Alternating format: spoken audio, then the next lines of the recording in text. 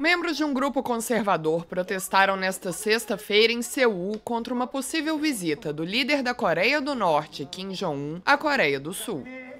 O governo sul-coreano havia afirmado esta semana que ainda existe a possibilidade de o líder norte-coreano visitar Seul antes do final do ano, apesar do aparente bloqueio nas negociações de desnuclearização.